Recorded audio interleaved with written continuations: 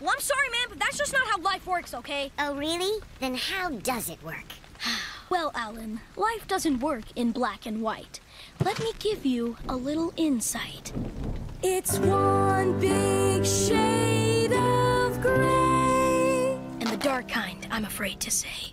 Because there's war and fighting, and the bad guy often wins. So you have to find some comfort in the smallest little things. They're shouting and they're stealing, there are mortgages to pay.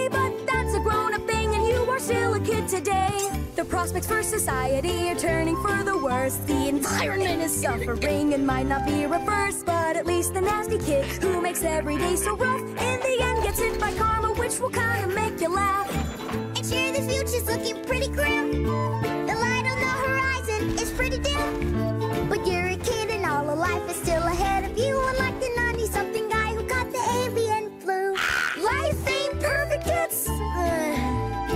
Some bits are okay, but most of it is. Life ain't perfect, it's nah. You gotta find the good bits in this great big load of. And yes, the more you work on it, the worse it seems to get.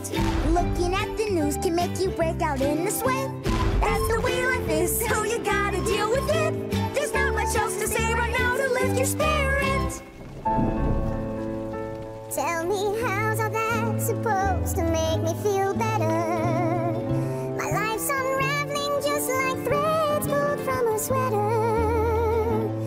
There's no sunshine in my future. It is gray. Tell me why I shouldn't feel so deflated. Because. Because.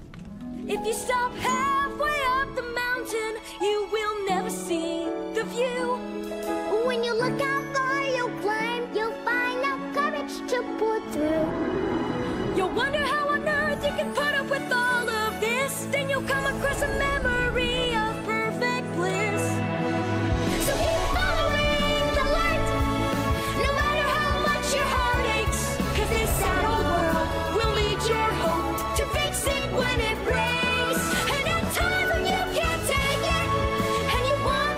to